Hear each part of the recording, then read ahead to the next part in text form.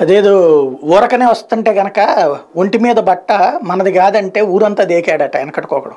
అట్లాగే ఉక్రెయిన్కి పది బేసలు ఖర్చు లేకుండా ఫ్రీగా స్పాన్సర్ చేస్తున్నారు వెపన్స్ కొంతమంది కొన్ని దేశాలు. ఆ స్పాన్సర్షిప్ ఎందుకంటే ఇదివరకు అప్పులు చేసేసి ఇంకంత మించి అప్పులు చేయడానికి ఏం లేదు. దాంతో బిలియన్ల డాలర్ల కొద్దీ ఆయుధాలు ఇస్తా ఉన్నారు. అది కూడా అత్యంత పవర్ఫుల్వి.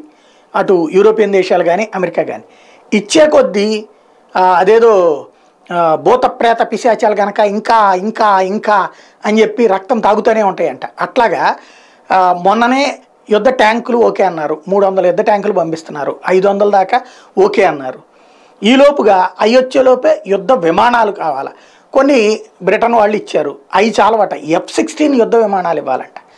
ఎందుకంటే సుఖోయ్ థర్టీ ఫైవ్లతో దెబ్బ పడుతుంది కాబట్టి మాకు ఎఫ్ సిక్స్టీన్ ఇవ్వండి అని చెప్పి అడుగుతోంది. అమెరికాకు ఒక్కసారి షాక్ తగిలింది అనమాట ఎఫ్ సిక్స్టీన్ అంటే హయ్యెస్ట్ కాస్ట్లీ ఫ్లైట్స్ అనమాట అది కనుక పేలిందనుకోండి అక్కడ సుఖోయ్ చేతిలో ఇక అమెరికా బిజినెస్లన్నీ మొలకూర్చోవడమే ఎందుకంటే భారతదేశానికి సంబంధించిన మిగ్గు యుద్ధ విమానం చేతిలో ఎఫ్ సిక్స్టీన్ కూలింది. పాకిస్తాన్ దగ్గర ఉన్నటువంటి ఎఫ్ సిక్స్టీన్ ఎందుకంటే ఎక్స్పీరియన్స్ లేని పాక్ పైలట్ల చేతుల్లో అది తీసుకొస్తే మన అభినందన్ కాల్చిపడేసేటప్పటికి దాని మార్కెట్ ఎప్పటికే డౌన్ అయింది. అదే ఉక్రెయిన్ చేతిలో ఉండగా సుఖోయ్ థర్టీ ఫైవ్తో ఎఫ్ సిక్స్టీన్ కూల్చింది అనుకోండి రష్యా. పరువు పోతుంది. ప్లస్ అంతంత కాస్ట్లీ ఇస్తే అది కూడా అమ్ముకుతే అమ్మేసుకునేటువంటి రకం కాబట్టి అమెరికా ఇచ్చే ప్రసక్తే లేదని జో బైడెన్ చెప్తున్నాడు.